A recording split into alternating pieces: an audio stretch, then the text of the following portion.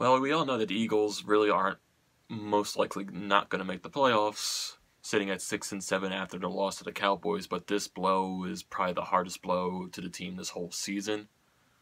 Uh, Carson Wentz, like we have all known, it's the past couple days he's been dealing apparently dealing with back spasms, but now he has a stress stress fracture in his back, which most likely will sideline him for the rest of the season and his recovery time most likely will take at least three months to recover from this injury. And it seems to me like did Carson or Doug Pederson know anything about this injury? Or did the medical staff just hide everything and just said Carson was 100% to go? They just rubbed some dirt on the on the wound and he said he was fine. Could that possibly be what's wrong or did they know and they just forced Carson to start? And could that be the reason why Carson has been struggling the way he's been struggling this whole season? Yeah, you can also add that the offensive line in front of him wasn't that good. We didn't really have that many wide receivers, but you can also see it in Carson himself. He just wasn't really the Carson Wentz we all knew he could be this season. Like he was overthrowing passes, he was getting he wasn't utilizing his movement at all. He wasn't able to run, move the ball and stuff. So, going into these final three games against LA, Houston, and Washington, where Nick Foles is confirmed most likely to be the starter for Sunday, and most likely he's going to be the starter for the rest of the season. And you get now Eagles fans are saying, "Yeah, I'm happy Nick Foles is starting these next three games. Carson's not the guy. Carson Wentz sucks. It's all all of that malarkey.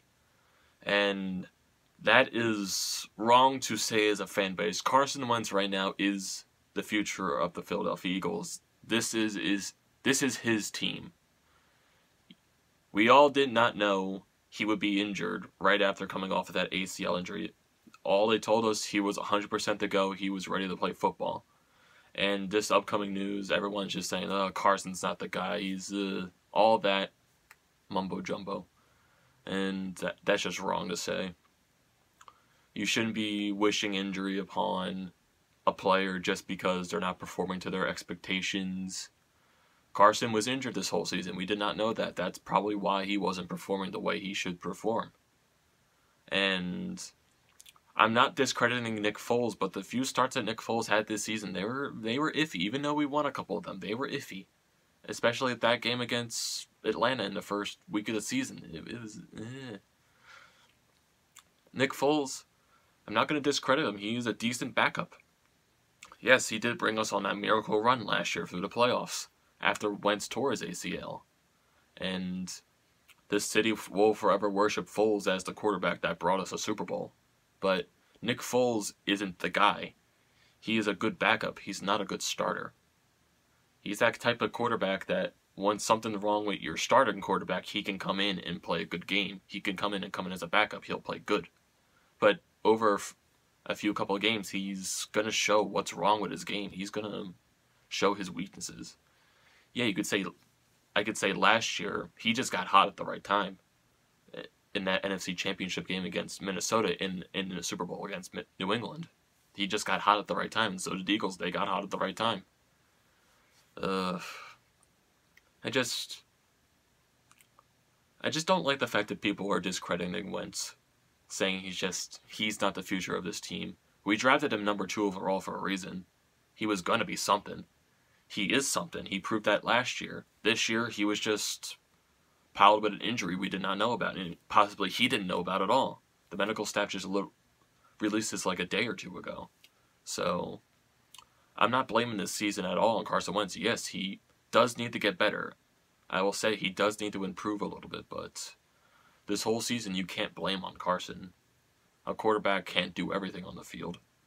It all depends on the offensive line in front of him, the players around him in general he didn't really have that good bunch of people around him besides like Zach Ertz or Alshon Jeffery or anything like that.